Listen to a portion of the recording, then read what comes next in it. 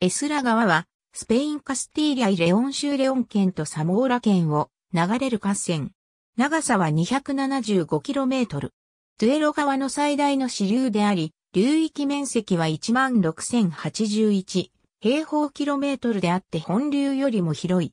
ディアーニョエスラ川流域の農地カンタブリア山脈に端を発し、主に北から南に向かって流れる。